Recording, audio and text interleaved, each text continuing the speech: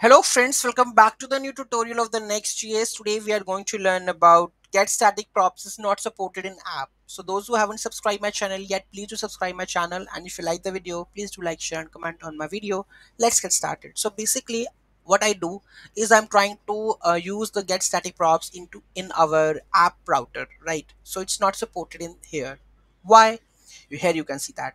The get static props function is not supported with the app directory in the next.js 14 so app router it will not work because currently you can see that i'm just using the page router.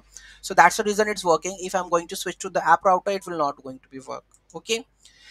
So this is because get static props is specifically designed for data fetching in the in a page component, which are used to define the individual pages in your application, right? Why get static props isn't allowed in the application. So I will explain this. Get static props relies on the build process to pre-render content with the fetch data. This approach doesn't work with the app directory. The app directory is intended for the global application, state management, layout components, and other utility that apply across all the pages. Okay? So this is the main difference.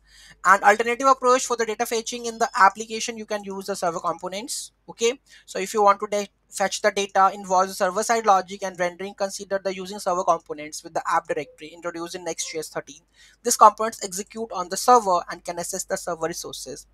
Get server side props in the page component. Again so if you want the if the data fetching is essential for the certain pages like define get server side props which those specific page components located outside the app directory you can pass the fetch data as a props to the app layout or the other components.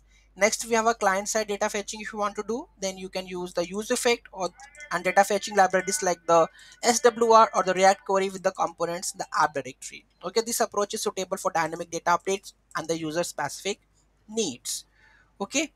So this is how the things goes on. So why it's not uh, get static props is not supported in the app directory. So if you are trying to do that one stop this one because it's basically used for the page router right? Not for the app router. Okay?